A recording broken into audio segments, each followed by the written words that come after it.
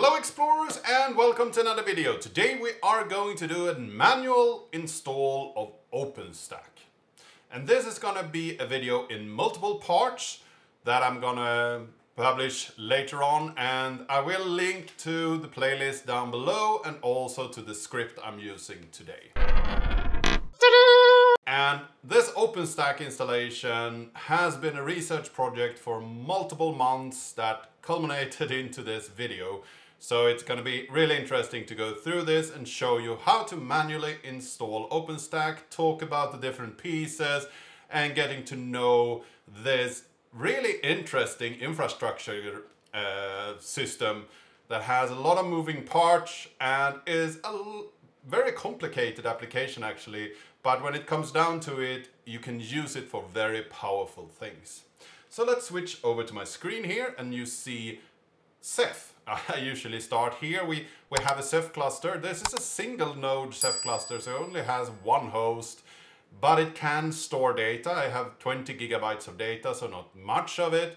But my main focus here is that I want to use this as my storage backend. So we will install the OpenStack cl uh, cluster and then add Ceph as our backend. So let's start the installing process. We will switch over here to my uh, console and we have a Debian system with nothing installed on it. Just a clear, clean Debian Bullseye install. So the first thing we need to do is add curl. Uh, curl could be installed on your system and uh, OpenStack is supported on multiple different systems. Debian isn't actually a supported system, but Ubuntu is, and it works pretty good in Debian as well. Uh, Red Hat is of course supported, as this was a software that actually began at Red Hat. Uh, next up, we will curl down this public key from the OSBPO repository at Debian and add that to our key repository and then we can add the two repositories for this software. So it's the OSBPO and this is a Bullseye Wallaby backports that we want to install and we also want this Bullseye Wallaby backports no change. So this is what you find if you look at the documentation, what you need to add uh, in your source repositories. Next up, I also want to configure, this is an optional step, but I want to configure debconf so it will give me prompts in the console and not this graphical interface. I don't need that graphical interface. So here I will change to read line instead of dialog and then high. So it will give me a lot of prompts, but it will do it in the in the console instead. And then we will run apt update so I will get the new repositories. And after that, we need to install a couple of packages.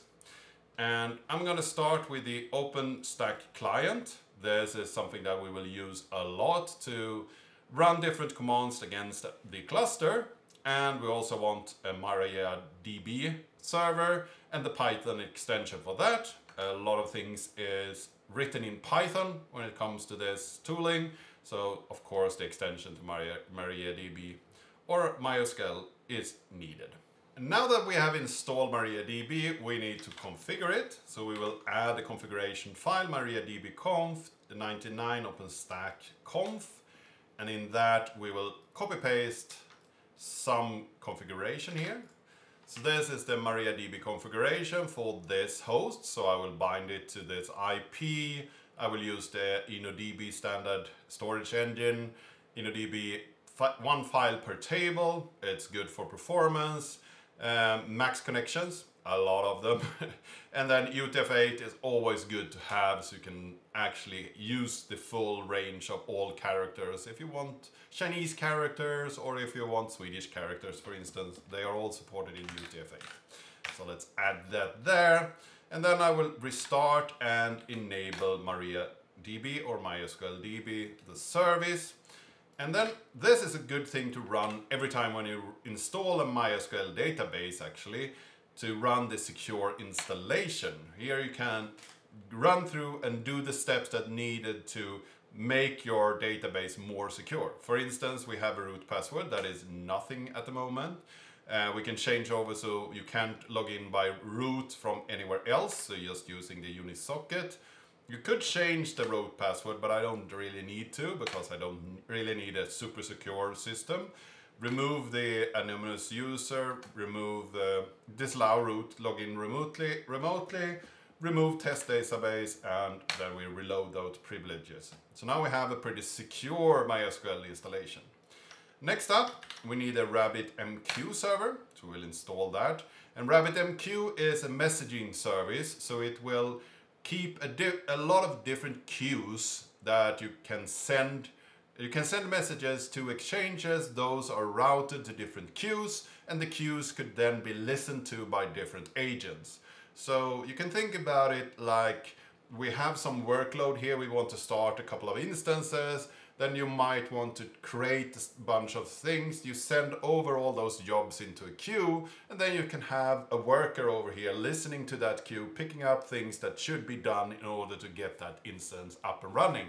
So it's a way of building an asynchronous software that could still handle a large workload we use it a lot of work where we have, for instance, a bunch of things that needs to be processed, not in order or anything like that, but we need to get through that workload. Then we put them into a queue, and then we have a worker that um, slowly works through all that job uh, work progress. Uh, we need to configure this a little bit so it can be reached outside of this node. We, so we just set the current IP address of this server so we can use it later on from uh, our compute node, for instance.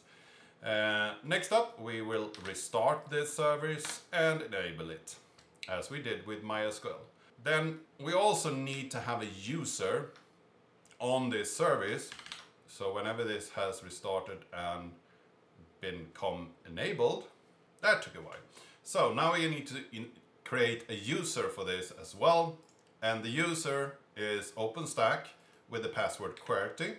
And we also set permissions for this OpenStack user so it can reach any exchange and any queue and also any vhost. So full access permissions for this OpenStack user.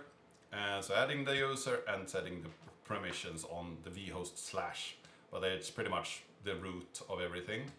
Uh, and the last thing that we need as a prerequisite is the memcache. So we will install the Python bin uh, binaries for memcache and also the service for memcache. And this is for non-persistent data that we save in uh, memory. Um, so like access token and similar. And this is also something that we want to uh, reach from the outside. So we'll add the IP address here, 192, 168, 6 and 78. There we go. And we do, do like we did with the other, restart it and enable it. So now we have all the prerequisites installed for OpenStack. Now we are ready to install the actual OpenStack software. So first off, when we install this, we want to have the Keystone software.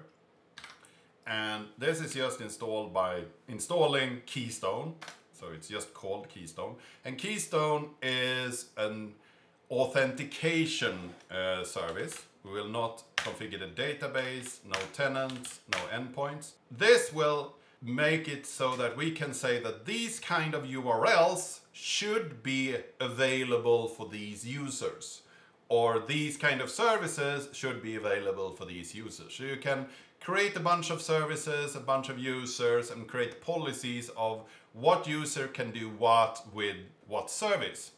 Uh, so the whole system builds upon this authentication structure. And when we are configuring the other components, we will add this Keystone authentication service to all of them. So all of them will know about this service. And when we want to reach any of the other ones, we ask the Keystone service where can I find this kind of service and what URL is that available on? And then it will figure out, do you actually have the access rights so you can run the service and do those operations there. So it's a very central part of the OpenStack in infrastructure. Could of course be installed on multiple servers and so on and using a load balancer you can uh, reach the Keystone service on all those servers. Now that we have installed Keystone, we need a database for it. So let's go into our MySQL database and create a Keystone database and give the user Keystone with the password QWERTY full access to that database. So create database and then grant all privileges to Keystone. And next up, we will configure Keystone. So we will go into the Keystone uh, configuration file and here we want to look for the connection parameter. This is the database connection. Nothing is uh, configured so far, so I will add the Keystone uh, connection here. So MySQL, Keystone, QWERTY, the IP address, and then the database Keystone. Uh, moreover, we also want to look at the token and what kind of tokens do we want to support. There is a thing called Fernet that we want to support here as a token provider. So that is what we set up here as the provider.